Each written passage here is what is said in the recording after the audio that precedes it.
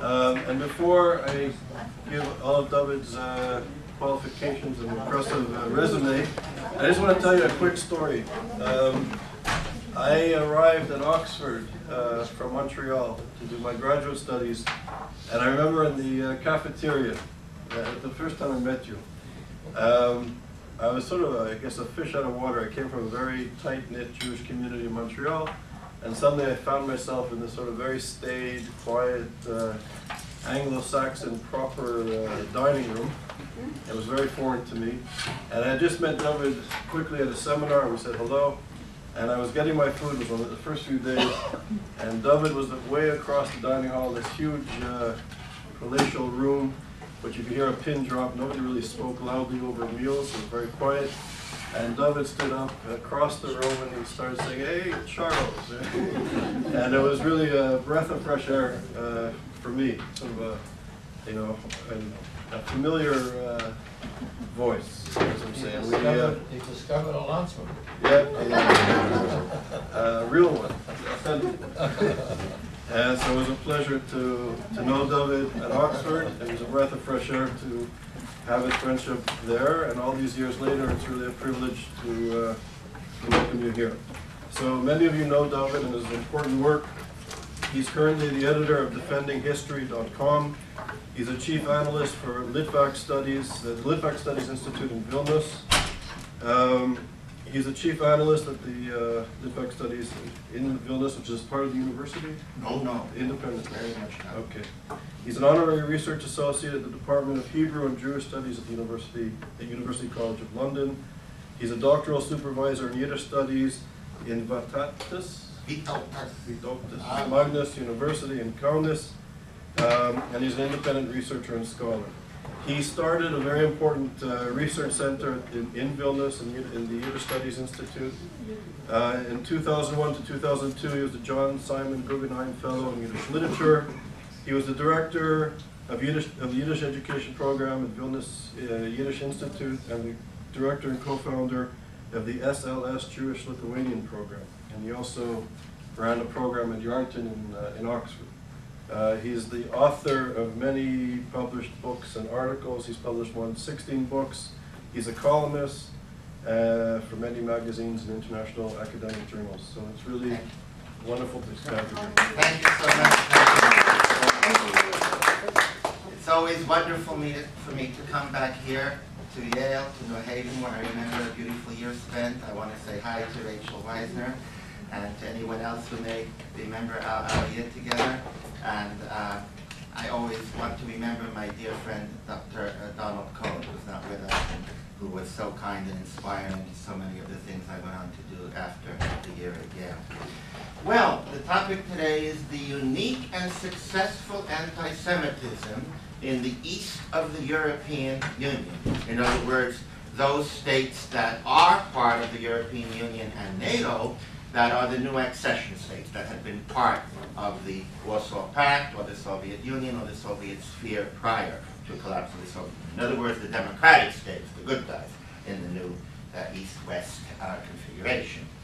Um, oh, sorry, let me get my head. Uh, what is successful anti-Semitism? Well, in the pre-modern sense, it would be, you know, how many more Jews can you can you kill or, or hurt or, or expel or baptize or defame? Um, but now this is all much more sophisticated. And there is a new kind of anti-Semitism that is spreading from Eastern Europe westward and that is very successful. First of all, it is described or it is presented as being constructive, nationalist, nation-building, egalitarian, these guys have to build up their national identity. Well, and if they participated in the Holocaust, we have to somehow cover that up or change that. They need their national narrative like anyone else. So let's not talk about anti-Semitism when it comes up in that context. Or the kind of anti-Semitism that's just one historic issue, which is inevitably and invariably the Holocaust, and just one small group of Jews, which is always the remnant Jewish community here. In other words, something I've heard hundreds, if not thousands of times in my 12 years of being based in Vilnius and 20 years of going there is, oh, we love you, we love American Jews and British Jews and Israelis. A shame about those Jews here. They're all, you know, pro-Russian and communist. They're not patriotic. What a great shame about them. And many Western Jews, well, you know, it can be presented in a way that's not offensive. Finally, a successful anti-Semitism is one that is covered up so successfully that Western, Jewish, Israeli scholars, organizations can be persuaded to come on board. Come on board doesn't mean that they will join and become anti-Semites like that, but they will cover for it by coming for Jewish studies conferences, Holocaust conferences, and turn a blind eye to the local anti-Semitism. So that's what I mean by successful anti-Semitism. Now, many scholars have studied this phenomenon of anti-Semitism in Eastern Europe. Um, this, this could have perhaps been better presented as two separate lists, those in the early 90s who first understood what was happening and wrote about it, like uh, Ephraim Zuroff, Robert Wistrich, uh, Randolph Braham, he edited that wonderful book in 1994, and um, Deborah Lipstadt in her book uh, Denying, uh, Denying History, uh, has one page on the future of Holocaust denial where she does have a few very, very prophetic lines. And then there are the recent academic studies, some of the same people, Zuroff and Wistrich, and some new ones, Don, Donskis and Clemens Heni, who I think some of you here know from his time at Yale. Who, so in other words, there's two groups of scholars, those who wrote about the beginning of the phenomenon and those who now have uh, seen it come to fruition and have described it in scholarly terms. This is a very small group. I've left out a few, but it's still a small group, and the phenomenon is not yet accepted as even existing. It's often thought of as somehow just some kind of pet thing by these, uh, this small group. Now, what is the Eastern European Union narrative about World War II? In short, it's double genocide. In 1940, the Soviets committed genocide against us, they were mostly Jews, and we know that all Jews are communists. And in 1941, we, the Baltic peoples, the Lithuanians, the Latvians, the Estonians, helped the Nazis commit their genocide. 1940 comes before 1941, but now we're in reconciliation by being open with each other and, each other and seeing each other's pain and the Holocaust is deleted from the narrative without denying a single death. In diplomatic circles in Europe, the code word is red-brown or red equals brown. Okay? So two diplomats in Brussels will talk about, is that a red-brown revolution? Is there any red-brown stuff in that document, in that proclamation? So that's the new language that I think is not really known here in, uh, in, in America yet. So Holocaust denial in Europe, at least, is no longer respectable. Since the famous Lipstadt-Irving trial in the spring of 2000, when Deborah Lipstadt won, Professor Deborah Lipstadt of Emory University, won her uh, the libel uh, action, the action brought against her by Holocaust denier David Irving, and Lord Justice Gray uh, gave his very well uh, worded judgment. Holocaust denial was pushed to the fringes. In Eastern Europe, meanwhile, scholars, governments, elites, journalists were working on a new movement that we call Holocaust obfuscation. Now, if that's not a very sexy term and it's confusing and not clear, that's good because it, it revolves around the idea of confusing the issue. Everybody was killing everybody, everything is equal. Get rid of the Holocaust that way without denying a single death. But you get rid of it as a category and as a concept. Now, we have to talk a little bit about the history here, the Baltic Holocaust. The percentages of Jewish citizens killed in the Baltic countries were the highest in Holocaust-era Europe, around 95% in all three Baltic countries, although numbers, absolute numbers, of course, far smaller than in the larger countries uh, uh, around it, certainly to the west. Um, uh, going back to my still ongoing work as a Yiddish dialectologist, I always bring people a period map from their youth. So 10 years ago, 15 years ago, I was still bringing them maps of Tsarist, the Tsarist Empire. But now I'm dealing exclusively with people who grew up in the 1920s and 1930s. So we're talking about the interwar map. So that's Lithuania, Latvia, and the whole Vilna area uh, is part of Poland. Okay, and that was a point of contention between Lithuania and Poland, which had no diplomatic relations till 38, and that was the worst border, or one of the worst borders in Europe at the time, with a very big no mess, and that will become relevant, that's why I'm mentioning it. Now, this is the northern section of the Molotov-Ribbentrop line of 23 or early 24, August 1939. And it's again superimposed on a period map. So theoretically, according to the Nazi-Soviet agreement, Hitler would take everything from the west up to that line, and Stalin would take mm-hmm. everything from the east up to that line.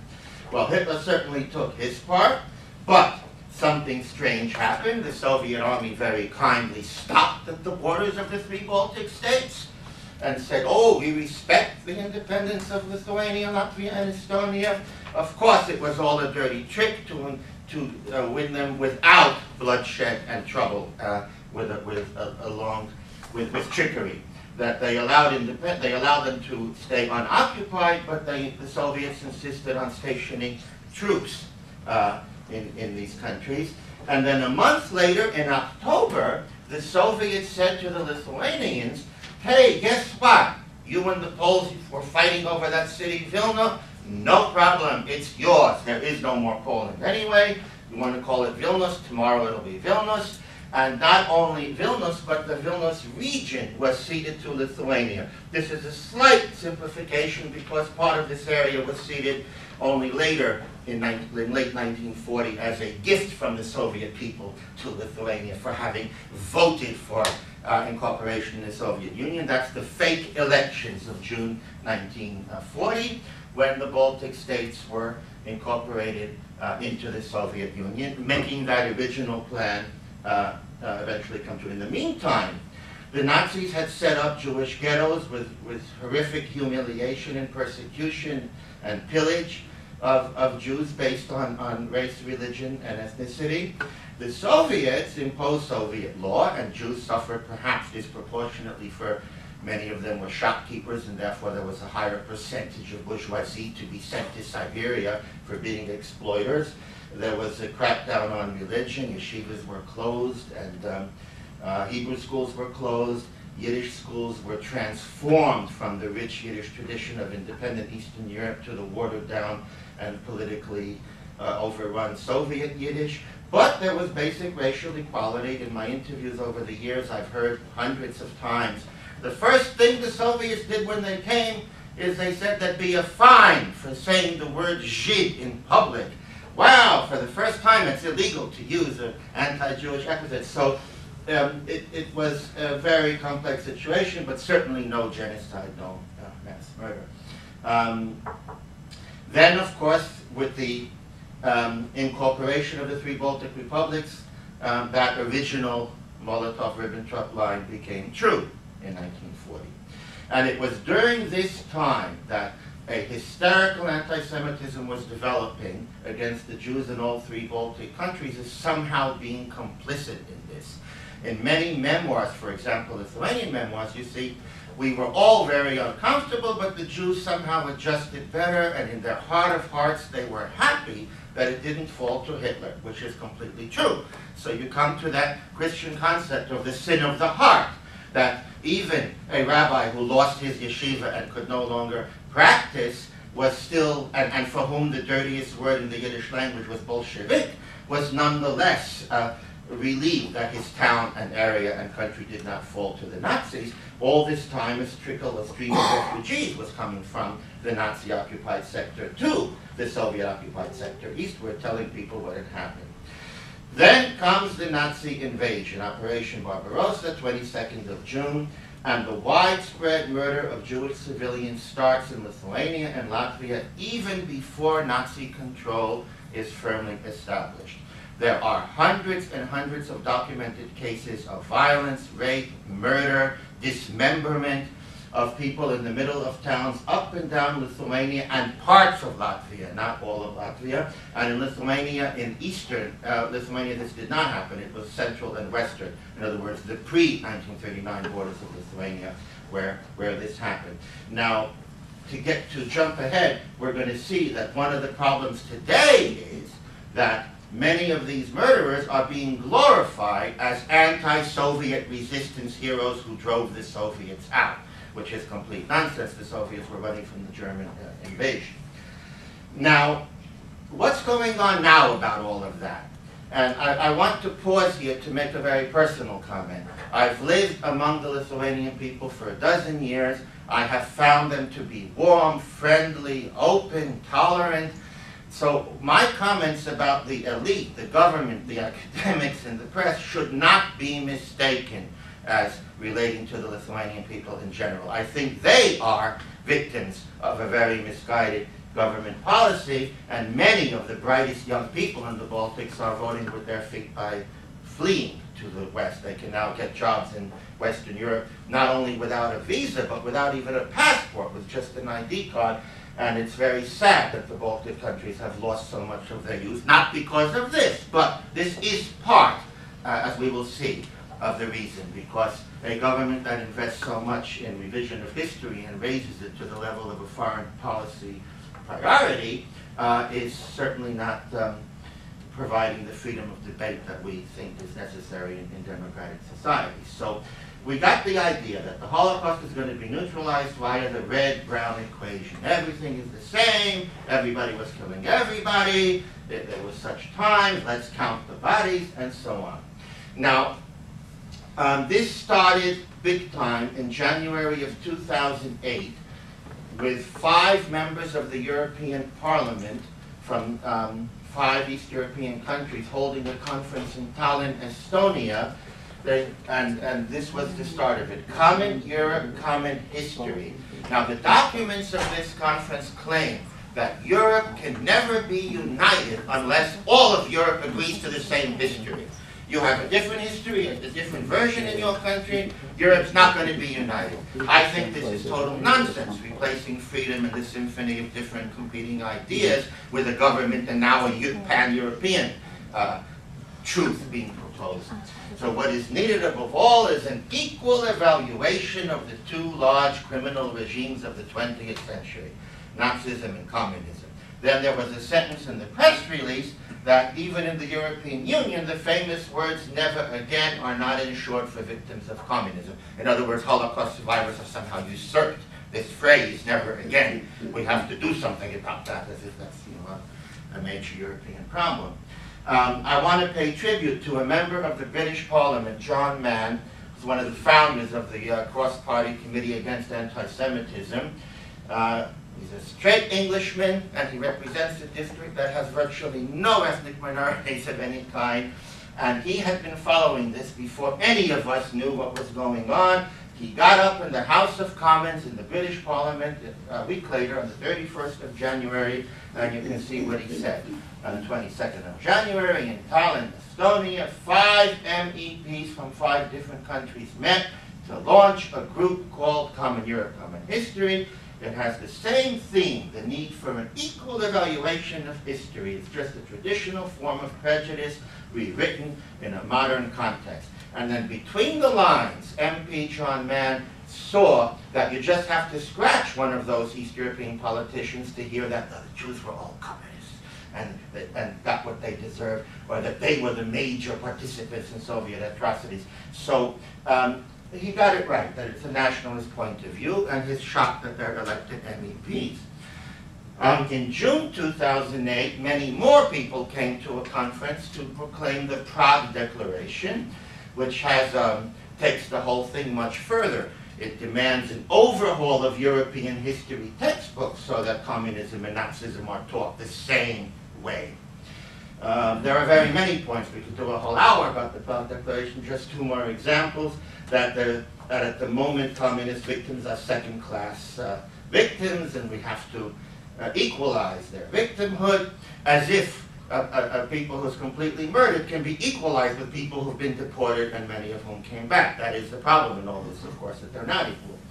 Um, and finally, the demand for a Nuremberg tribunal great um, process or trial to make sure that communism is put on the same um, position in the same position as Nazism in European history.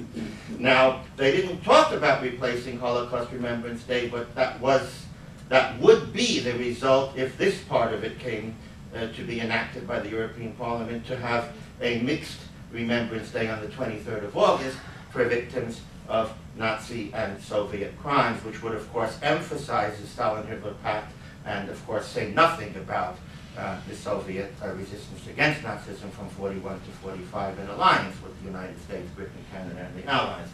So those are some of the issues. By 2009, this was spreading beyond Europe. There was a big conference of the OSCE, the Organization for Security and Cooperation in Europe in Vilnius in late June, early July 2009. And it's a very long document, and only two little phrases were snuck in, but you know it was snuck in. Double genocide language is a reference to Nazi and Soviet genocide, as if this is a totally accepted uh, equation, and the proposal for an international Red Brown Memorial Day on August 23rd, not just European. As it happens, I had the honor of entertaining a group of senators and congressmen uh, in my apartment that week. I had no idea that this language was being put in. They had been taken to an, a conference on anti-Semitism, where for six hours proclamations were read out about how we condemn anti-Semitism. So they felt very proud that they had joined they had signed all the proclamations against anti-Semitism without noticing that this is being slipped in under the radar because everybody will always have more important problems than history. So even small, poor countries who decide to invest treasure can get very far if they're investing the budget in, in the uh, revision of history. So it's being driven by um, the three Baltic countries, no matter what party that their factions in parliament come from, but also by the right wing in Poland, Hungary, the Czech Republic, and other uh, larger states of the Eastern European Union. In other words, in the Baltics, it's a consensus view. In the other countries, it's the right-wing view because the other countries still have debate on these issues. Okay.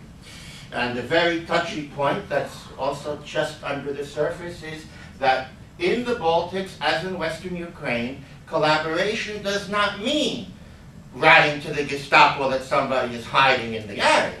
It means thousands and thousands of people, cumulatively in these countries, volunteering to do the shooting of their neighbors. And if you look at the list in Lithuania and Latvia of the shooters in each town, shockingly you see the local dentist, a driver, a guard, or in a few cases a priest. So it is uh, very far from a situation of the Nazis having found a couple of drunks to help. Um, now, a lot of this has to do with populist politics. If you ask simple people in villages, nobody will deny the Holocaust. Um, there were no concentration camps or gas chambers uh, in the Baltics. Uh, uh, by and large, there were hundreds of shooting sites. And every town almost in Lithuania has a pit outside, so everybody knows what happened. It's a question of explaining it. They were all NKVD, that's the precursor to the KGB. They were all disloyal, 1940 came before 1941, Jewish communists were the real mass murderers, and so forth. Now, the fancy politicians today don't say this, but they are pandering to this important part of the electorate, which becomes more important each year as progressive younger people migrate or just don't vote. Uh, I want to pay tribute to the very bold Lithuanians who have who stood up in the 1990s to tell the truth to their people the way we all do when we love our country, because all our countries have historic stains. Who can study American history and, and not talk about what America did to African Americans, to Native Americans? The one such person in Lithuania is my good friend Linas Vildziunas. He founded an NGO called the House of Memory, um, did wonderful, wonderful work in education. This is a series of books based on essay competitions of kids who were asked to speak to their grandparents, my Jewish, my grandparents' Jewish neighbors, um, and what happened to those neighbors. So, uh, in other words, a completely, completely honest approach to history. And of course, Tomas Venclova, your own professor here, he was telling the truth from the 1970s onward in exile here in the United States.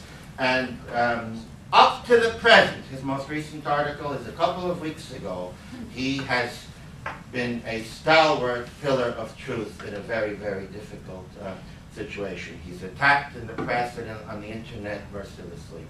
Now, in the early 90s, there was progress. That's President Algirdas Brazauskas, a social democrat, with Holocaust historian Dov Levin, who's now in his mid-80s, and Dr. Ephraim Zuroff, um, the head of the Israel branch of the Wiesenthal Center. And progress was being made on war criminals and the teaching of history, so there was an auspicious start. But the state's establishment uh, turned against all these efforts. And all these NGOs were sidelined, their funding was cut off by various intrigues. Zuroff or Zorofasa Lithuanian became a curse word. I was telling Charles over coffee that, um, that you know, um, when I came to Lithuania, people told me they liked me because I'm not Zuroff, and I didn't know who Zuroff was. I sure found out. Um, now, what happened here? In every big mess, like in a messy divorce, there's always more than one guilty party. The Western countries and the Jewish organizations made a very big, big mistake, in my opinion. Um, in the late 90s, they started pressuring the Baltic countries, saying, you want to join NATO and the European Union? You're going to have to come to terms with the Holocaust as a government. They should have been pouring money into all those honest NGOs and efforts to build Holocaust education from sincere people. The government, meanwhile, with the academics and the journalists and the elite, were cooking up the double genocide theory to teach Holocaust studies and tell the truth about the number of deaths as part of the new field of genocide or double genocide studies, which is a cover term for there was no separate Holocaust, it was just a period of massive bloodshed in this area. So um, that was a mistake. Um, in the case of Lithuania, the government invests in four, or has invested in four very, very lavishly financed institutions. The Genocide and Resistance Research Center, the Museum of Genocide Victims in the former KGB building in the center of Vilnius, one of the most popular tourist attractions, the Lenin Park, where statues of Lenin and other Soviet figures were gathered to an educational park. And finally, the state-sponsored International Commission for the Evaluation of the Crimes of the Nazi and Soviet occupation regimes in Lithuania. Now, this is right out of George Orwell. International for what needs to be discussed and revealed nationally. The parallelism and implied equality of the conclusion built into the title of the inquiry.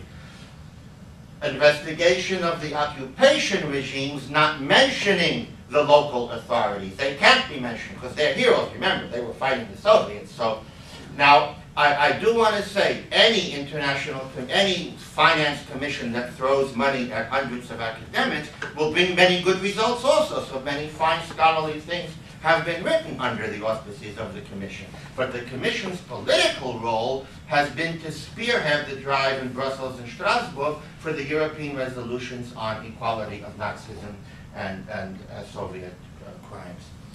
Um, that's a recent photograph of the window of the Genocide uh, Research Center. They're all books about uh, Soviet crimes, one or two about uh, Lithuanians, very brave people who saved Jews, one 60-page pamphlet about the Holocaust written by a local scholar in a very uh, nationalist tone. Um, so one out of 20 books in the window. By the way, that building, maybe you remember it, Rojo, on the corner of Glezer Gessel and Breite Gas, it was the um, site of the gate to the first Vilna ghetto.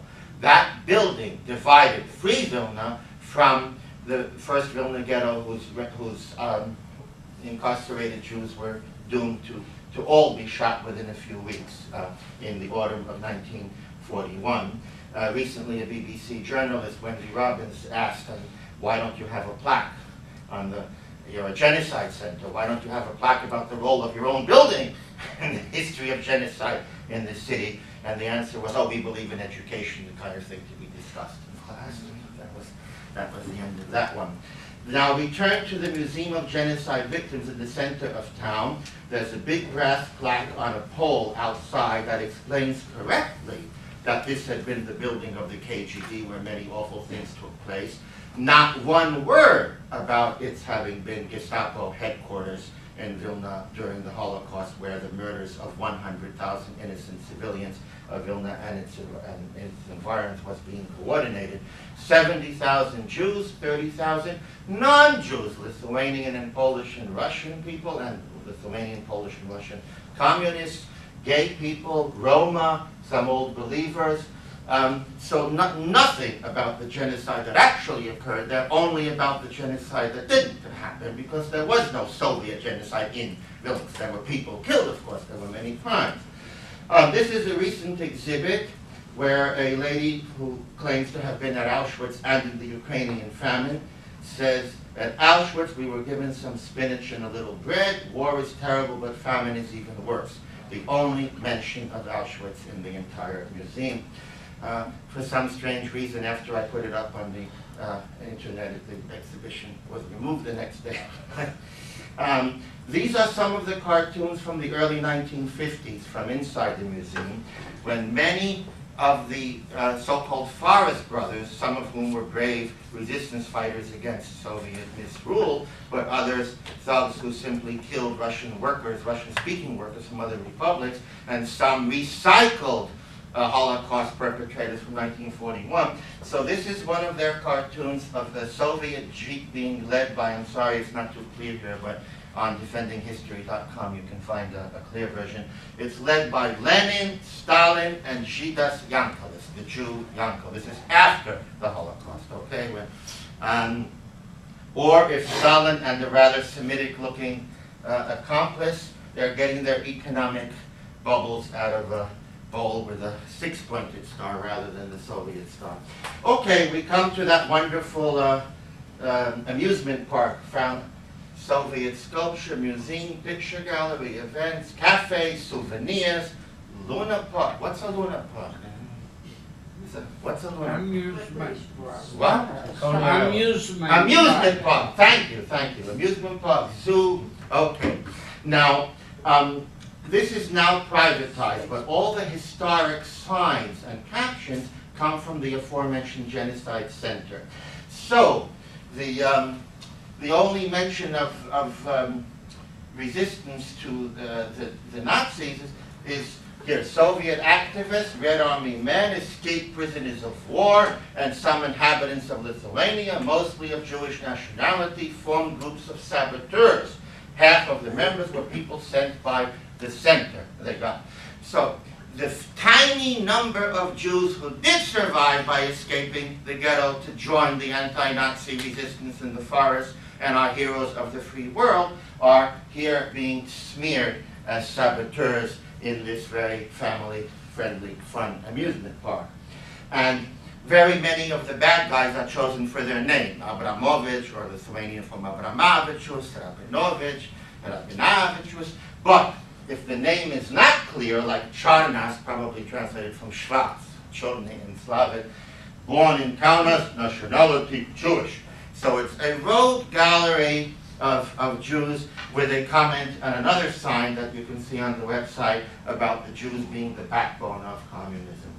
So what is the State's Red Brown Commission doing? It had sidelined the honest initiatives, retooled Holocaust studies into a component of equal genocide studies, and attracted massive Western Jewish support and membership, uh, and certainly support of leading scholars to, to get legitimacy, this commission had to have at least one Jewish scholar who was a Holocaust survivor himself. So they decided on Yitzhak Arad, who uh, was born in 1926 in Svincian, Svencionis, 90 kilometers north of Vilna. He escaped the ghetto to join the partisans, entire family killed. In 1945, he emigrated to uh, then Palestine, a hero of the Israeli War of Independence, became a scholar, became the founding chairman or director of Yad Vashem later. Um, that's Arad during his during the good years when he would come to Vilnius for sessions of the commission. We would always entertain him and have fun with him, uh, as we do with all East European-born Yiddish-speaking people. Now, in 2006, notice that the trouble starts after European Union and NATO accession in 2004. An article in the Respublika, which is supposed to be moderate, little bit left of center newspaper, the third largest in Lithuania, had a very big article, a whole page, an expert with blood on his hands, which is an interview with the state prosecutor who was supposed to be the special prosecutor for war crimes, supposed to be running after Nazi war criminals, of whom not one was ever punished in Lithuania, says that Arad should be investigated. Now, I remember this was the first time in my many happy years in Lithuania that I was personally very upset. And all my friends said, David, calm down. It's a stupid newspaper. Who the hell cares what a newspaper said? But only two months later, the prosecutor announced um, his war crimes investigation based on the same misquoted passages from the article. So it's the, the yellow anti-Semitic press leading the way for politicians and the prosecution service. The evidence, quote unquote, against Arad is one page of his wonderful book. I highly recommend it, The Partisan, English edition, 1979, New York. It had nothing to do with him personally, but his unit captured a big German Nazi and killed him. Well, we knew that there were no um, courts and judges and lawyers and defense attorneys in the forest during the Holocaust. So why did you bring this guy to your commission if his unit did such a thing? So suddenly, and uh, among Holocaust survivors and, in and, and among Yiddish-speaking Jews, Yiddish humor came into it, and they all started saying, ah, they are finally reading our memoirs. um, okay. Then, in 2008, at the beginning of 2008, the right-wing newspaper baited the prosecutor. It challenged his manhood, so to speak, saying, why don't you go after Fania Bransovsky and Rochel Margolis? This was much more personal for me because both are very close and dear personal friends of mine. Fania was born in 1922, attended Yiddish schools, and was in the Vilna ghetto from the first day to the last. She escaped a few hours before the ghetto was liquidated on September 23, 1943, and made it to the underground forest fort where she lived till liberation in 44. Fania escaped 10 minutes before the ghetto was encircled by Lithuanian auxiliary police uh, in anticipation of the liquidation a few hours later. So she and her friend Dr. Devoltov, happily still alive and well in Los Angeles, made it to the forest fort. That's Fania, and my grubby uh, fingers holding a picture of her father's shop before the war on Zavalnegas, um, Pilimo now. Um, that's Fania at the far left, her father Benjamin Yocheles, who owned that shop, mother Rochel, little sister Rivale, and the photographer who jumped into the uh, timed photograph, not quite in time, he's a little blurry, name unknown. They were all killed except Fania, as indeed all of Fania's family perished. Fania is the, the, the first row, bottom left, uh, the only survivor. And that's where Fania lived, in that uh, underground uh, bunker from September of 43 until uh, July 44. This was in fact a Jewish fort. 99 of its 102 uh, occupants were escapees from the Vilna ghetto who were working with the Soviet partisans and have their own little fort here. So instead of being preserved as a magnificent testimony to human spirit for freedom and, and resistance, it's now being allowed to disappear completely from the elements because it's regarded as a bandit's fort of Soviet criminals. Um, now, meet Margolis, who's now in the Rehovot. Um, used to spend half a year in Israel, half a year in Vilna, born in 21. She turned 89 last October. She was a biology professor at Vilnius University for 43 years, but if you ask at Vilnius University now, every reference to her has been removed.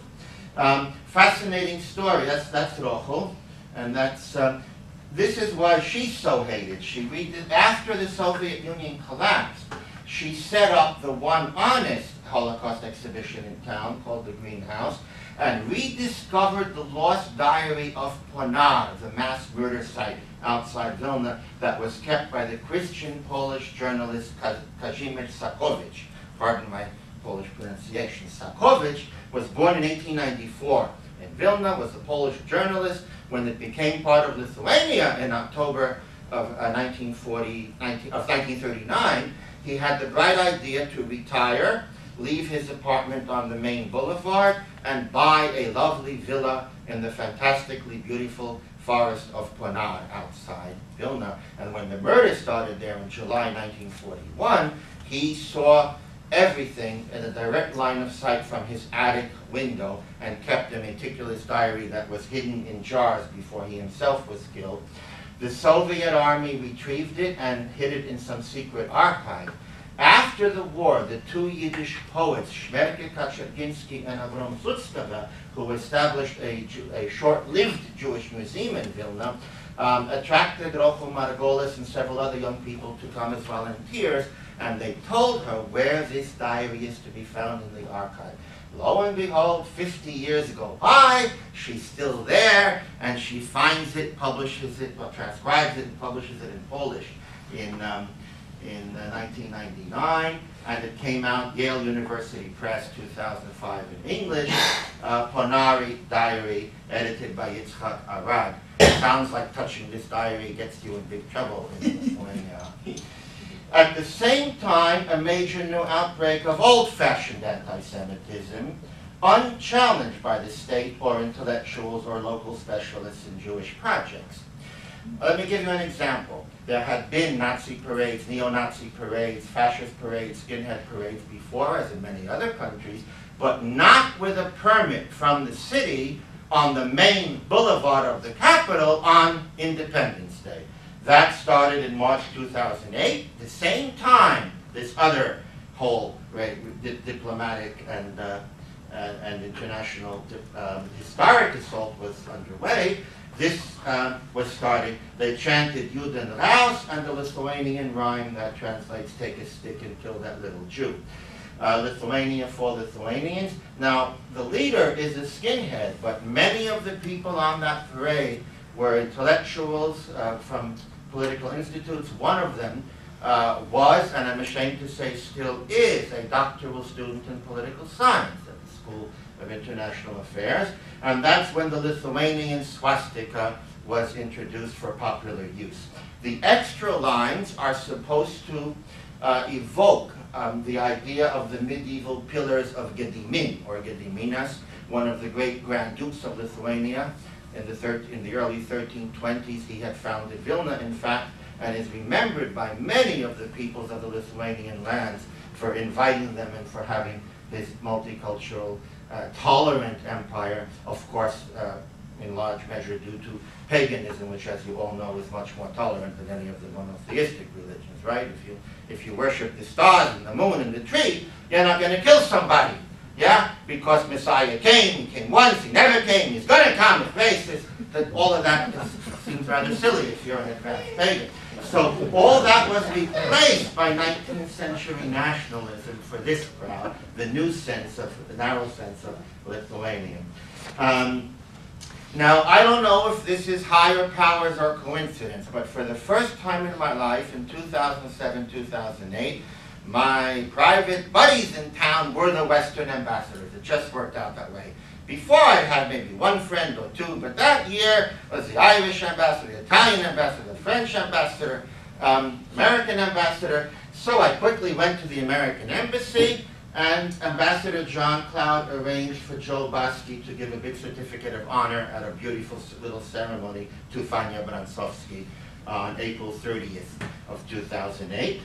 Um, uh, I, I will never know if this is related or not, but less than a week later, two armed plainclothes police from the prosecutor's office came to the official residence of Rochel Margolis, who was in Israel, uh, with a piece of paper saying that the prosecutor needed to interview her in a war crimes investigation against Fania Bransovs.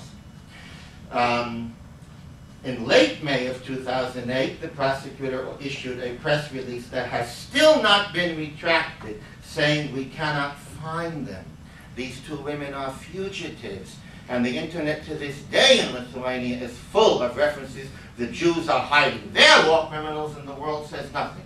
Now, let me tell you, anybody, if I can revert to my native Brooklynese, Anybody with half a brain could find these two women in five minutes with the telephone book, with the Jewish community, with a list of survivors, with the organization of uh, ghetto survivors in Lithuania. They don't want to find them. If you find them, you have to have charges. And if you don't find them, you can have a pre-trial investigation and they can be sent to eternity. Remember, they're in the late 80s. As suspects in a war crimes investigation. What's going on here? Very sadly simple. It's a dirty trick to be able to write in 10 or 20 years. Our prosecutors equally investigated Nazi and Soviet uh, suspects, but alas, they all died before our investigations were complete. In other words, this is a very sophisticated, complicated, and upmarket operation. This is not yelling Judenraus on the street. The, the Irish ambassador, Donal Denham, he says, never mention my name without telling them I am not Donald. I am Donal, D-O-N-A-L. Um, he said that cheap American only gave her a piece of paper. Well, I'm going to make her a banquet. And he made a big banquet in the Irish um, ambassador's residence. Um, there were complaints against him from the Lithuanian Foreign Ministry. And in response, Ireland, to its great credit, extended his tenure in Vilnius for an extra year till 2010. Um, it was a beautiful, beautiful evening that ended with all the, uh, the Western diplomatic community singing with Fania the partisan hymn, Zognet Kemel as du gave them, let's never say that you are going the last way. Um, in June of 2008, Sarah Ginaite, professor in Canada, um, was told by her lawyer to tear up her ticket because she's on a list of war crime suspects because of her book. And by then, the line they're finally reading all our books spread. I know another Holocaust survivor in Canada who said, I'm going to send them my books. I'm jealous, they're not reading mine. Now, in June of 2008, the Lithuanian parliament passed a ban on Nazi and Soviet symbols. It's not maybe that unexpected that BBC, this is from the BBC website, would have had a headline Lithuanian ban on Soviet symbols because that was the sensation. Ban on Nazi symbols, we know. Now, why would you have a ban on Soviet symbols when nobody in the country wants the Soviet Union back? Nobody is marching with Soviet symbols. The only people this hurt were very old veterans of the war against Hitler who loved and continued to love to dress up in their uniforms once a year on May 9th to celebrate the victory over Hitler and are now afraid to do so publicly. At the same time, the then president of Lithuania gave interviews that Germany is forgiven, but the Soviet Union is not forgiven, so much for equality uh, locally. In August, the Jewish community was, uh, building was defaced uh, more harshly than ever before. That's the gallows with the Star of David. Oh, sorry, that's jumping the gun. Um, again, Yiddish humor seemed to blossom spontaneously. Whoever I met that day in Vilna of the Jewish community, David, of course they will never find the culprits. They're too busy looking for Fania and Roch. so the humor continues despite the declining moral situation. I have to say, the elderly Jewish community has been shaken by all this.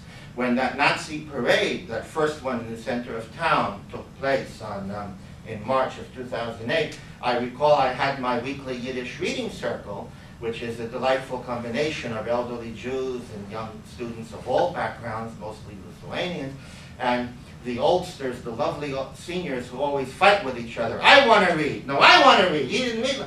Nobody wanted to read. What's the matter? I found finally, you didn't hear what happened yesterday? I said, yes, I heard. For them, it was not some small thing that Judenraus is, is, is beaming through the streets of the city with police uh, escort. Now, that same Respublika in January 2009 started with um, uh, this series of cartoons of the Jew and the gay holding up the world under the headline, Who Runs the World? Um, if anybody wants to take pictures, that's fine, but all these images are on the website defendinghistory.com, so you can you needn't worry about it. There's nothing here that's not there.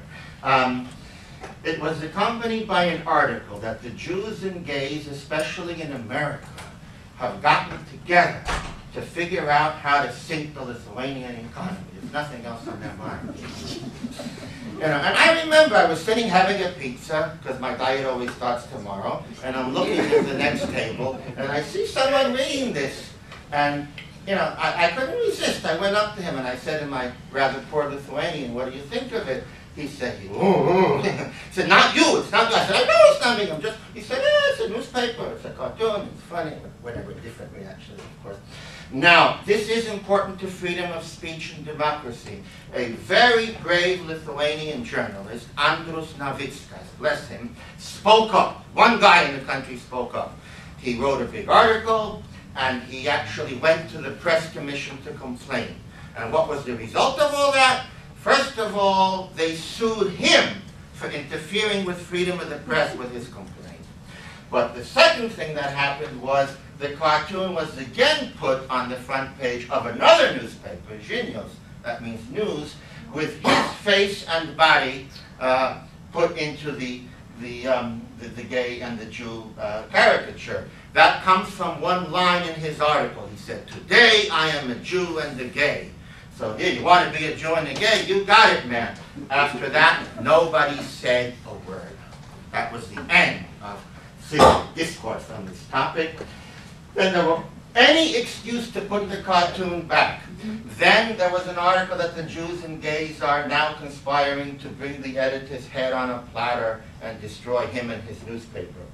But that's the original Jew and gay, not Navickas. So we at least were relieved at that. Um, from June 2009, there were discussions in the press and in Parliament about a law to um, criminalize the opinion that Nazi and Soviet crimes are not the same. In other words, if I say, as I do, Soviet crimes were horrendous, they need to be taught, exposed, and justice needs to be done, but they are not the same as the Holocaust, as genocide. That opinion, according to this proposal, would have been punishable by up to three years imprisonment. Now, uh, it was only a discussion at the time. Uh, meanwhile, there were a new spate of articles in the mainstream press. This one is Lithuanian law being corrected by, and in a slightly larger font, Zhidai, the Jews. And the, the article claims that the Jews are conspiring to take away the culture ministry building. Um, as it happens, that building is not one of the pre-war Jewish communal buildings. It was a Jewish private bank before the war, uh, bank in Vilna. Nobody would take it away. And to make it a more classy photo, it was photoshopped to be a round building. It's actually the flat building in the middle of the flat. Never mind. Um, I was feeling very guilty that for all the honors we're doing for Fania, we can't do much for Rochel. Rachel Margol is stuck in her little wooden uh, hut in, in Rehovot. The Lithuanian ambassadors couldn't mix in something in Israel. The ambassadors in Tel Aviv and Jerusalem were not interested. So we made an evening uh, in honor of her in June of 2009 and second from the left is my dear friend Chen Ivri, the Israeli ambassador at the time to the Baltics, who had to make a point that he's there as a private citizen with his own resources because he didn't have instructions from the uh, Israeli government. I can talk about the geopolitics a little later in the questions. That's the head of our community, 82-year-old elected uh, uh, head of the Jewish community, Dr. Shimon Alperovitz, slightly photoshopped and superimposed over a Soviet abacus uh, counting the money of the Lithuanian people that he is planning to steal. Okay, um, coming to now the world doesn't say a word about any of this because it's covered by Jewish events and festivals and Yiddish and all kinds of glorious things. We'll come to that.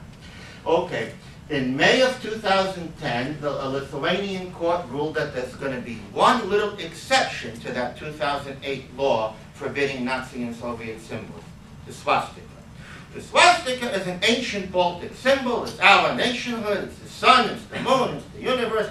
Um, that you can see from the photograph that that's not May because the case evolved over that particular demonstration in February of uh, 2009 in Klaipeda was classic uh, swastikas taken from interwar uh, artistic and other works in Germany and elsewhere that were pre um, pre World War II to demonstrate that it's an older symbol.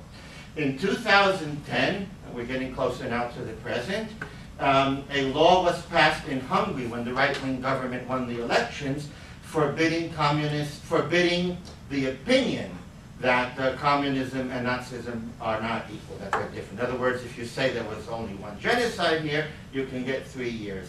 Well, it took only a week or so for the news to spread like wildfire in Lithuania, and in June 2010, the law was passed, but not with three years in prison, only two years in prison, and the president of Lithuania proudly announced that her good offices had mitigated the law and had made it uh, more in tune with mainstream uh, Europe.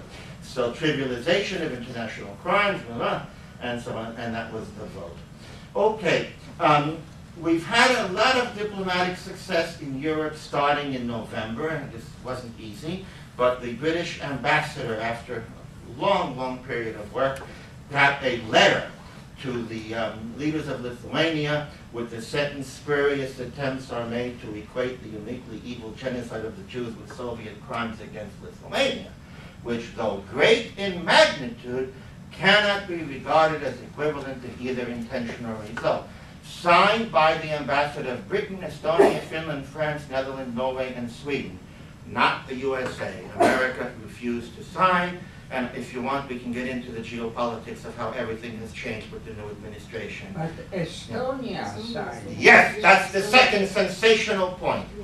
So, being me, I couldn't resist uh, taking to lunch some middle-level person from the Estonian embassy who told me off, off, off, off, off the record, you know, I think they're beginning to decide in Tallinn that it's more fun to be considered part of the Nordic countries than the Baltic countries. So that alliance has begun to crack with Estonia. Um, and in December, um, the uh, latest resolution was rejected by the European Commission. Um, the resolution was demanded by a letter from six foreign ministers. It was supposed to be seven, but the Estonian foreign minister came too late to Vilnius a day, a day later. And the Vilnius, and then in the, in the Lithuanian press, the foreign ministry was being pestered. Why didn't Estonia sign? And the reason was there was a blizzard and he got here too late. So we don't know if it's a diplomatic blizzard, but this was the Stockholm Declaration. So now you understand why so many people in Europe hate this whole European Union with all kinds of declarations and proclamations and, manifestations and proclamations. Shalom Aleichem would have known what to do with it. Um, that, that, that's very removed from everyday life because many Europeans don't even bother voting for the European Parliament. You vote in your national and local elections. So anyway, we have stalled their efforts a little bit in the European Parliament. Um, but in December, the Lithuanian Human Rights Association, that's an affiliate of the Helsinki Group, released a statement that they start to require the sentencing of the citizens of the Jewish nationality, Yitzhak Arad, Fanya Bransovsky, and Rachel Margolis, as these citizens, former Soviet guerrillas, have organized the massive slaughter of civilians in Kaniukai village. In other words, tried, convicted, and there have still been no charges, let alone a trial. So if that's what the Lithuanian Human Rights Association is saying, God help the rest of us, and where on earth are the American historians and the American diplomats in the United States and the rest of the world?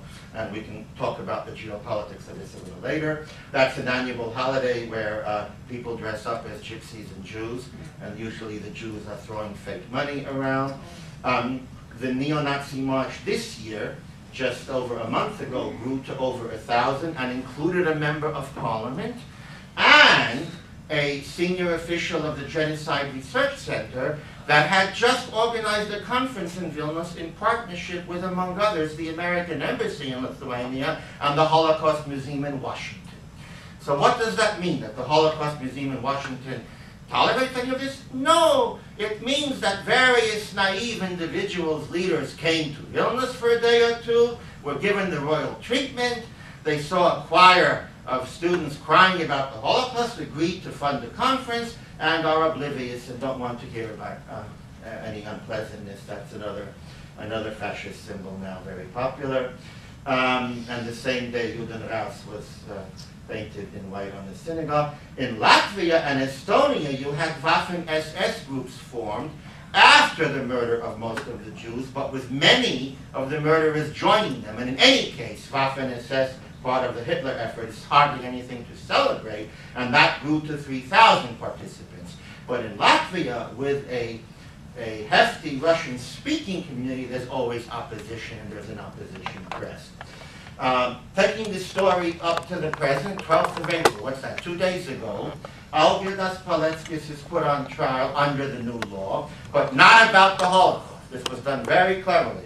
Paleckis is the one far left, far, far left pro-Soviet uh, politician in all of Lithuania. His grandfather was Paleckis, who was uh, installed as the puppet Soviet prime minister in 1940.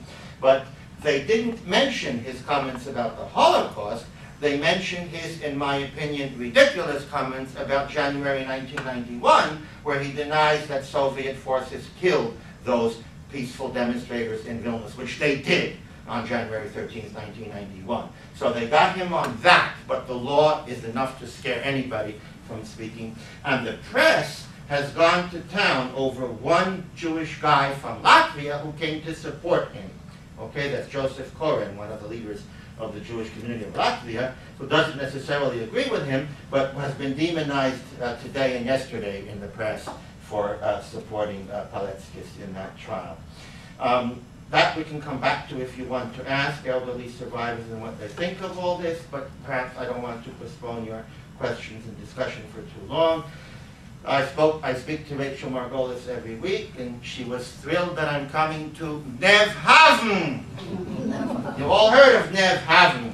And she has one big request. If you come to Israel, please visit her. It's a 25-minute, 30-minute taxi ride from central Tel Aviv. Um, former Prime Minister Gordon Brown wrote an article in The Independent, the big newspaper in London, where he dedicated one of his series to women of courage to Rochel Margolis. So there's something very strange that the former Prime Minister article speaking up on this whole issue, mentioning how it's shameful that the lady is afraid to return to her home country, where Jewish organizations, Holocaust organizations, museums won't say a word, and that's her, during my last visit to her, saying hi. I'll just finish with a sort of summary of what's going on. What is this complicated new policy? I want to stress that I am not claiming it's a conspiracy. It's not a conspiracy to anybody following it. It's been very, very open. Don't deny a single death. You say 200,000 were killed in Lithuania? Okay. Somebody else says 211,000? Okay. Suddenly Holocaust denial in that um, uh, eradicate a social, intellectual, or politically dissident class. So if you redefine all that, sure, everything is genocide, everybody committed genocide. So then it becomes true by law. And if you disagree, you're violating the law. Uh, Soviet crimes are raised to the level of genocide because they didn't take every crime under the sun. They took Soviet crimes, deportation, imprisonment, and all the, the bad things that the Soviets did. But locally, as you remember from that museum, the Holocaust is not mentioned. The Soviet genocide is only the only one mentioned. And always stress the alleged Jewish participants in Soviet wrongs. There was uh, a big thing over a unit of KGB people from the 50s who had indeed deported uh, many innocent people to Siberia. And of that unit, there were 25 survivors, 24 uh, ethnic Lithuanians, and one Jew who had moved to Israel. So guess who the prosecutors asked to bring to trial? Nachman Dushansky of Israel. And so that, and Israel refused on the grounds that he's being singled out. Um, local Holocaust murderers are glorified as anti-Soviet heroes throughout this region. And in Lithuania, Latvia, and Estonia, we're coming to June 23, 2011, the 70th anniversary when there were many, many events, including a film with some very prestigious Western and Jewish participation. Uh, naive or Western and Jewish, view, participation, glorifying them.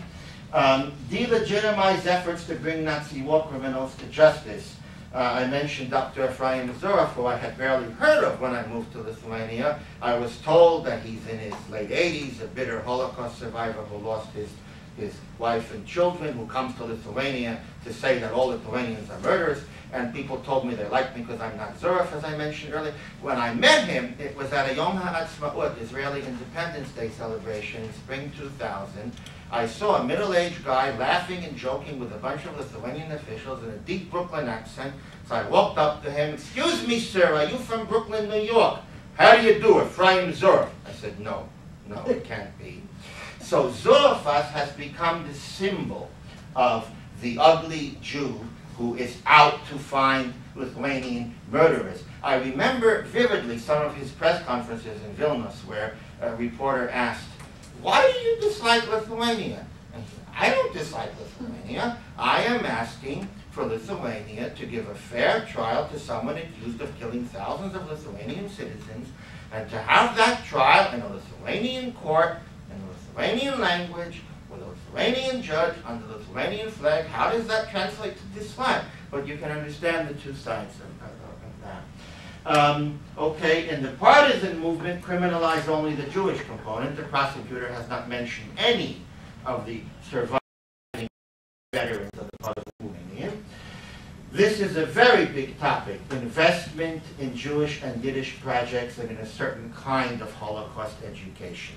So Yad Vashem, the Holocaust Museum in Washington, organizations in Britain, many fine and honorable men and women have been duped to cover for all that's going on with lavishly financed Holocaust conferences, education programs, uh, and so on. And Yiddish is especially popular because, of course, Yiddish is native to that part of the world, and it's quite easy to find Yiddish scholars who are thrilled that there's a government in the world that likes Yiddish and will invest in Yiddish, so it's very easy to populate these programs and courses, especially painful for those of us who've invested a lifetime in serious Yiddish studies. A very sensitive point is this one showering foreign Jewish personalities with honor, junkets, grants, and then it becomes difficult to say, I was naive, I was a schmendrick, and I should have seen. It's much easier to say, ah, everything is fine.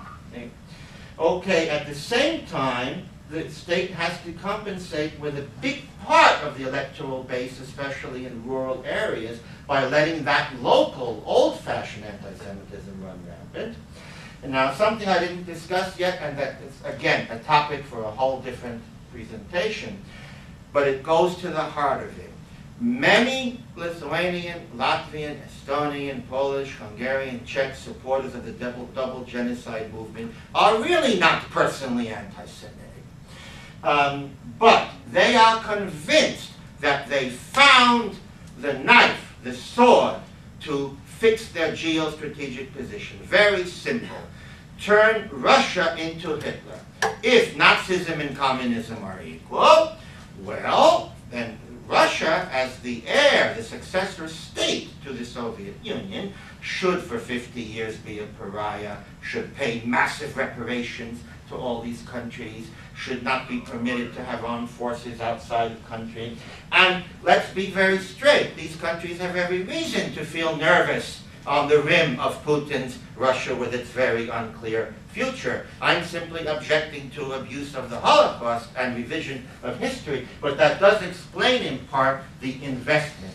And don't forget that the new Berlin Wall, the new east-west border, is the one that's immediately to the east of the Baltic countries uh, in this area. And disseminate a particular variety of post-Holocaust anti-Semitism. I mentioned it before, we love American Jews and Israelis and British Jews. We hate the local Jews because in their heart of hearts, they think that Lithuanian neighbors of their family committed most of the murders in their family towns, and that they are alive today directly or because they or their parents or their grandparents were saved by the Russians, which is objectively accurate in that part of the world where there were no American or British or Canadian forces fighting Hitler uh, during the Holocaust. So that's the, and that anti-Semitism has many, many tangents and strings attached to it. For example, Lithuania has only about 3,000 Jews now, most of them in their 80s. It's easy to convince foreign diplomats and Jewish leaders, we do the best we can for them, but they'll soon disappear. Let's preserve the great pre-war heritage as we are recognizing everybody suffering equal in an egalitarian spirit of double genocide. Okay, the, the bold Lithuanian intellectuals who've spoken out have either lost their employment or not been promoted or encouraged to leave, but it's a career breaker. Persuade the European Parliament citing Jewish consent to replace the Holocaust with a history of two equal evils. If Ephraim Zuroff, Dovid Katz, and three or four other guys from Brooklyn are the only people complaining, then obviously there's nothing you know, serious in it. Where is the American Jewish Congress? Where, where are the elected representatives? Who, where is the Jewish lobby? Where is Israel? Okay, restitution issues are manipulated to keep intra-Jewish conflict going. And uh, uh, as an American, I have to say that there's also a lot of rubbishing of the entire uh, anti-Nazi war effort of the Allies. Ah, it was a bunch of evils, everybody was killing everybody, so that this is something very important that I think American, Canadian, British, and other patriots should be concerned about, the, the rubbishing of the anti-Nazi war effort. So my recommendations are that the victims of communism should be honored and the crimes exposed as separate issues. Second, people should ask elected representatives to speak up against those resolutions and against the continuing campaign uh, of defamation of the survivors.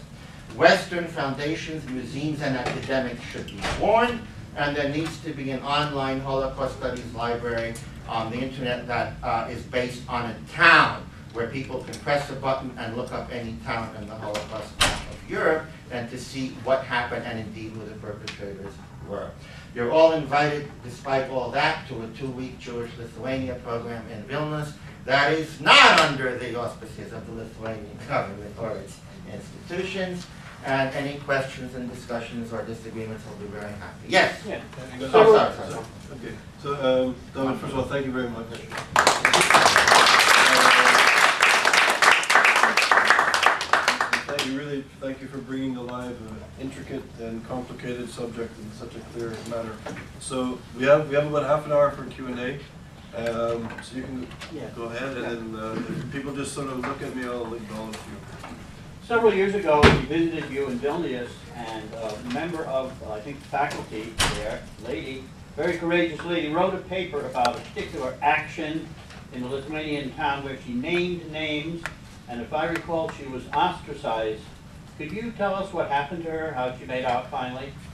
Uh, I don't want to get personal about anybody. Uh, I will say that one or two people in that situation have sadly been pressured to abandon their loyalty to historic truth and to go along with the current ruler, I'm very sorry to say. I don't blame anybody. People are worried about their families, their careers, their futures, but when somebody has written and published something, it's there forever, and um, I'm proud to have on the website defendinghistory.com a page called Bold Citizens, where you will find such papers starting with Venclova's 1975 essay and going up to an article, a very brave article written yesterday. Uh, So, uh, uh, if I can ask a question, I think there's, um, there seems to be a Yale connection. Because I think uh, Tim Snyder's book, Bloodlands, which is uh, being, is receiving a lot of attention, I think a lot of critical acclaim. Um, In a sense, could you relate his work to this situation? Because he, he said, I recently, I started reading the book, I haven't finished it, but he gave a lecture last week where he said he made two contentions, which I think in a very sophisticated way sort of legitimize the um, obfusc- obfuscation Yeah. of, uh, of the two, the two evils merging together.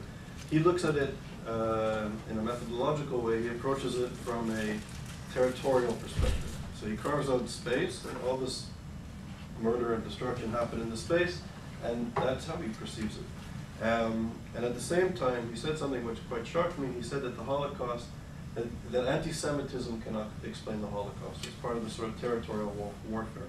So in a very sophisticated way, I would say it's not Holocaust denial, but it's this sort of uh, um, watering down the vision of history. So can you relate th- this work to it? And, and I think as a, as a caveat to it, he's receiving a lot of acclaim even within sort of Holocaust studies and Jewish history because he pays a lot of attention to survivors. He treats them with great respect.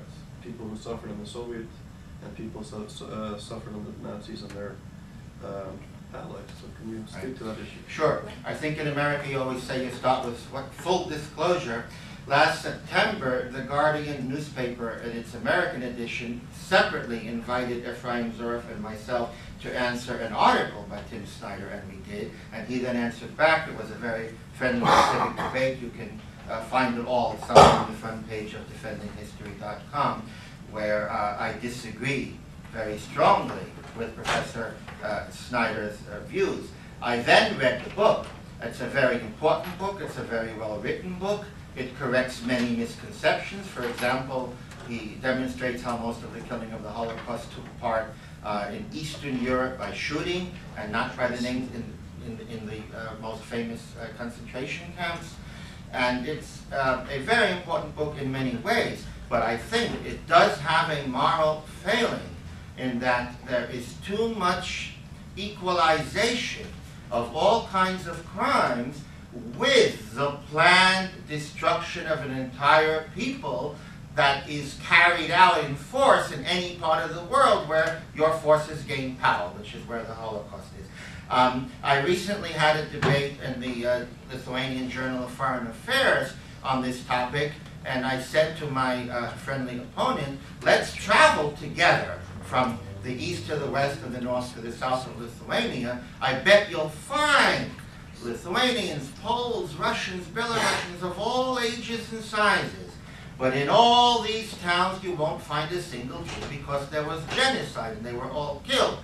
The Lithuanian population suffered enormously under Soviet rule and it did not suffer genocide. The population grew under Soviet rule. So I am fearful that kosher books, and Tim's book is certainly kosher, there's no anti-Semitic intention, there's no far-right intention, uh, is fitting in very conveniently. And uh, I said to him over our very amicable lunch today in, New Haven that um, in, in the far-right uh, community in Vilnius, the name Snyder is now thrown out as one of the great heroes, that he proved the equality of Nazi and Soviet crime, although he never puts it that way in the book. So what I would like to see is an open critical discussion where major specialists, historians, and archivists come out with a second opinion. And I am a little bit alarmed that that second opinion seems to be lacking here in the United States, where nobody will lose their job or tenure for disagreeing. So um, it's, uh, I think we need to be much more robust in, um, in keeping our eyes on it. Of course, to give you an example, if you take certain parameters arbitrarily of geography and of time, you can come up with 70 million people murdered and, uh, and not even a tenth. Well, it isn't about that. It's about the destruction of every man, woman, child of this people, the destruction of a people, uh, carried out. Um, so I'm very worried about the way his book and others is now uh, being used and going to be used by the obfuscationists in Europe and by the new far right in Eastern Europe who have successfully masqueraded as centrist or center right to naive Western uh, diplomats and, and leaders. And um, so, yeah, I hope um, Tim will, will think about this more. I advised him when he said what, what I said he could issue a statement uh, denouncing a lot of what's going on in Eastern Europe and make it very clear that this is not at all his intention constitutes a misuse. Two questions. The first one is you mentioned that the United States is not showing the Yeah. uh, rejection. You said that you would discuss it later. Yeah, fine, okay, thank you. Let's do one at a time, because I have a short memory. and- I will. Okay. Uh, I have many ways of telling the story, so I'll tell it like a guy from Brooklyn. Some years ago, the American ambassador under the Bush administration took me to lunch, and he says, David, you look to me like an old-fashioned New York liberal type. I think the only defense I could come up with is that, yes, but my family always voted for Nelson A. Rockefeller and John V. Lindsay, and we knew what the A and the V stood for. Anyway, and he said to me, I'm a lifelong Republican and I want you to remember this. He said, I have been tough on Russia and the Soviet Union communism all my life, so I have no problem telling our Baltic partners where to get off when they abuse Soviet crimes for Holocaust denial, anti-Semitism, or wacky nationalism. I vividly remember those three phrases as he put it.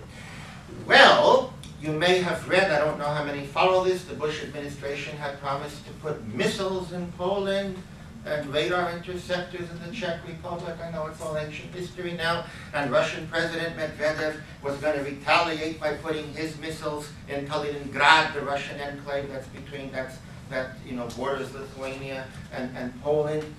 Well, I thought my Lithuanian friends and colleagues would be alarmed. Missiles on both sides. No, it was yippee! It's the new Cold War. We're important and we're safe and we're secure because there are missiles here. And it's good that the Russians have missiles because then we'll get more missiles. Then after the election, President Obama canceled those missiles. President Medvedev canceled his missiles. And I, being the naive guy I am, thought that everybody would celebrate that you're not living with nuclear missiles on both sides. There, were, there was a mood throughout the country of total betrayal. Obama, the bastard Obama has sold out. He's selling us to the Russians. Now, um, that's so far what I heard. The rest of what I'm going to tell you is diplomatic chit-chat from many lunches on the diplomatic circuit, many uh, cocktail parties where, where even diplomats speak too much after a certain amount of, of excellent Lithuanian vodka. And the story goes that instructions came from Washington that we have so upset the countries in this part of the world with canceling the missiles, let's not make an issue of anything else. That is what the talk is. I don't know if that's correct or whether that explains the full truth of it. There's more to it.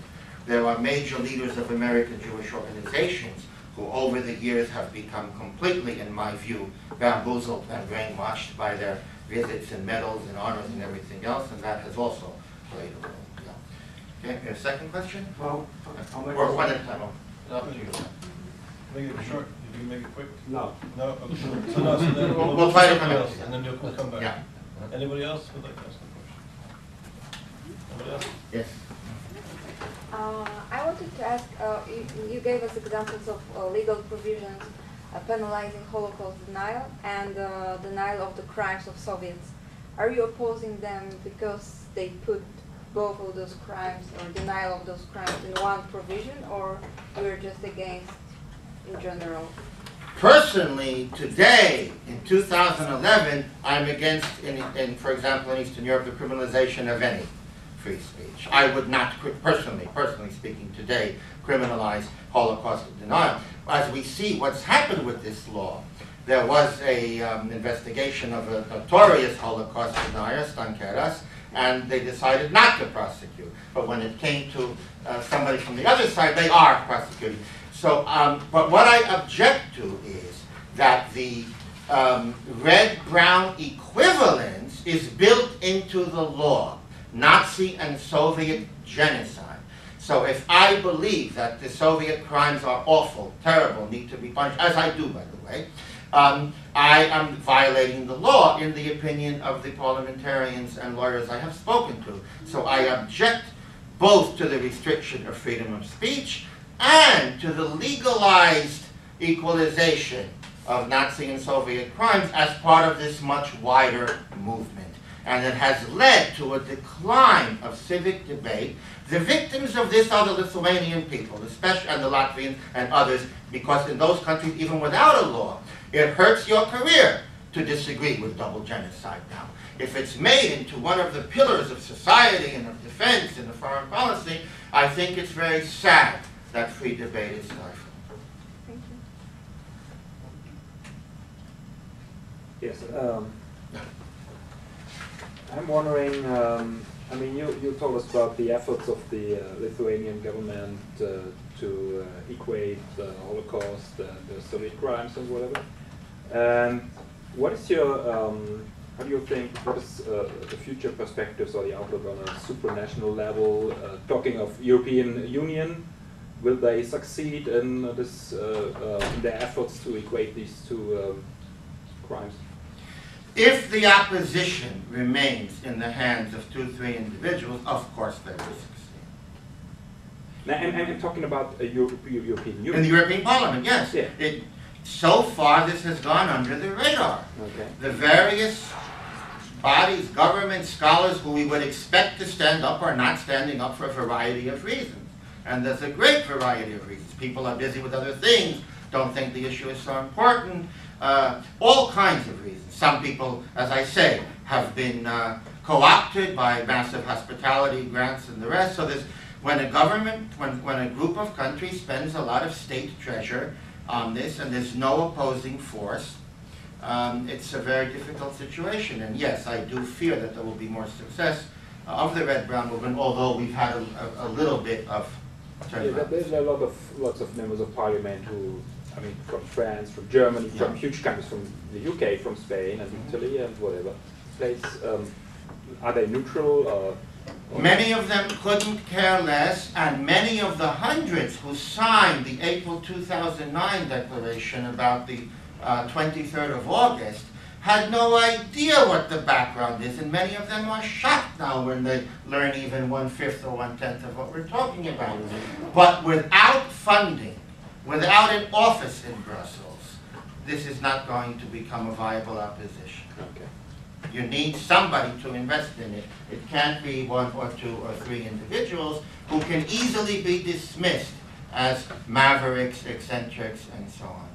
It has to have a basis of support. If anybody has to leave, don't worry, please, uh, go wherever you have to. Yeah, any other? Anyone? Yep, Okay. Um,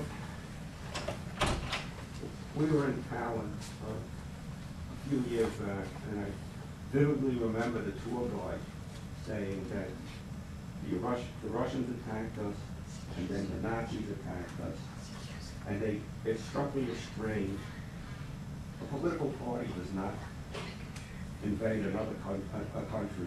A country invades another country. And what's happening is that even you yourself are equating Nazism. You say Soviet, you say Russia, and then you say Nazi. And uh, I find this a little, uh, this is part of revisionist history. So Yeah. now, realizing that they have more uh, German tourists, they say Nazi. Because now the Germans can say, it wasn't us, Yeah. it was the Nazis, and of course, the Nazis came from Mars. So, uh, I basically agree with you. Um, What's happened here is that the powerful side of this debate has set the terms and terminology of the debate. And after all these resolutions, we also have to mention both in the same breath in each sentence to answer, and that's a big problem. and then From what I see here with uh, uh, Estonia and Latvia and Lithuania, is they were really Hitler's willing executioners. If you read Yes. Ordinary Men, Yeah. they were, I think they were called the Hiwis. And they were the most brutal and sadistic of all the, um, uh, uh, I, I, whatever they were Yeah. the, the execution squads that were sent into Poland and then Russia. And so what you have here, what them pushing uh, for uh, equality, is they're covering their own tracks. Absolutely. Well, as I said early on, it's because the murder rate was the worst in Europe, and that because of massive voluntary participation in the killing, there is this ultranationalist desire to write that out of history because an ultranationalist doesn't want any stain on his or her history. At the same time, let us never condemn the entire Lithuanian or Latvian or Estonian peoples. Even the maximal number of 23,000 participants in the murders in Lithuania, which is horrific, bad enough, is whatever, 1% or less of the population. So it, it must never be a condemnation of a race, a people, a nation, and we must never forget the incredible bravery in that part of the world of those who just did the right thing and hit somebody. But the major trend is absolutely correct, as you're saying. But you Yeah. call this defending history because you're defending the truth, the principle of truth. Because none of the few thousand Jews, their lives are not actually in any way Right. in danger. Right. So it's not defending people, it's defending. That's right. you know, Just, just saying the record straight and keeping history. The And principle of honesty and truth, which is a great, prin- I mean, which is, but they're not in any trouble. Nobody has been killed or physically assaulted. The uh, the Nazi marches and the defacing of community and synagogue buildings has been the worst of it so far, the cartoons. Um, so by defending history, I mean first exactly what you are saying, Rachel, that it's defending the historic truth, the historic record against a very complex, sophisticated assault that is slowly insinuating its way into North American academia, where even the top scholars who have absolutely not an anti-Semitic or racist or far-right bone in their body are also going along with this general postmodernist mush of everything is the same. The second uh, point of defending history is defending the field of history and, and thought and free speech as being a free enterprise between competing scholars, students, schools of thought, and not dictated by the state with the criminalization of the non-state. Anybody else? Yeah, uh, what does this hold for the future? The, the fact that this is a continually creeping phenomenon. Mhm. Uh, looking in your crystal ball, what do you see? Okay. Um, now I'm doing the crystal ball, not, no facts, all crystal ball. I see the far right gaining ascendancy in a big part of the European Union and NATO nations of Eastern Europe, succeeding to a great extent in um, blunting any opposition from the West, succeeding in disguising it as mainstream. I see them becoming ultranationalist, largely homogeneous nations. I don't see it leading to any massacres or, or at, at this time. I don't see it leading to any uh, great violence, and I hope I'm right on that point. Um, I also see the Holocaust being successfully written out of history to the delight of the anti-Semitic uh, um, elites in many of these countries. And this is because of the failure of Western academia, Jewish academia, Israeli academia to stand up. So if anybody knows an elected representative who will say something about this, thank you in advance. But the crystal ball is that the Jewish communities will soon be demographic zero. Not, God forbid, absolute zero. There'll be the few hundred, what's, what's it called, a caretaker community. But because there was one genocide, there is one extinct race, a few hundred caretakers notwithstanding. And so with the disappearance of the Jewish communities, that element will fall out of it. And the revisionists, with their huge Western support, are winning this battle big time. So on, on that note, uh, Happier note next time. so David, thank you very much. It was. Thank you, thank you. Thank you for coming. And we continue informally. And thank you, Charles, for all your hospitality. have very small question. Sure. at the end. Uh, If anyone has to go, just. I mean, why do we know so little about this? I mean, I um, keep myself informed as much as I can, uh, including from several Jewish uh, lists and organizations, and it's, it's not a topic. not a topic. It's been successfully kept off the agenda by this big investment by the Baltic governments and other governments in the area in getting Western and Jewish support or at least silence. Imagine if the Holocaust Museum participates in Holocaust conferences there without mentioning any of these issues. Um, something's very wrong. So I hope it, No, I'm bamboozled by, by your presentation. I'm just sort of in shock. Um, the two websites to look at are Operation Last Chance, which is the, uh, the website of the Wiesenthal Center's uh, Israel office, especially under Lithuania, the many articles by Ephraim Zuroff. And I try to put as much as I can on defendinghistory.com. I don't know how long I'll be able to continue that website as some kind of eccentric lone ranger. None of this is going to, none of this little opposition that exists now is going to survive if some organization or country or um, institute with means doesn't pick it up. Yeah. How much is, uh, how much of what you told here today Uh-huh. is known to official Israeli authorities? Mhm. In Everything. The foreign ministry, yes. Because, Okay. because neither on the news Mhm. or. No, no, yeah. Other, never I heard such, you know, in such extent, because it's disturbing when you started talking, I had a comment, and then the comments kind of piled up. Right. But it's disturbing on so many levels that it just Two of those partisans are Israeli citizens. Yitzhak Arad is an Israeli and- citizen. yeah. Rochel Margolis is a dual Israeli-Lithuanian. citizen. We all know the extent to which Israel went to get back the remains of two soldiers from Lebanon. Why is Israel allowing two eminent citizens in their late 80s to be sent to eternity as suspected war criminals for having been heroes in fighting Hitler? The answer is that the Israeli Foreign Ministry believes that the Baltic countries are vital and even existential allies for the state of Israel, where there's a lot of left-wing anti-Israel sentiment in the big Western countries of Europe, and that the three votes, and more than three if you count the Czech Republic, that a bunch of votes in the European Union and in, in various international organizations are absolutely vital. You can read my friendly or not so friendly or half friendly debate with Barry Rubin, the major expert, a major expert on Middle Eastern affairs, on this issue, where Barry Rubin basically says, um, listen, we really need the Baltic states, they want the Prague Declaration, they want double genocide. Ah, it's not important, it's only a few people.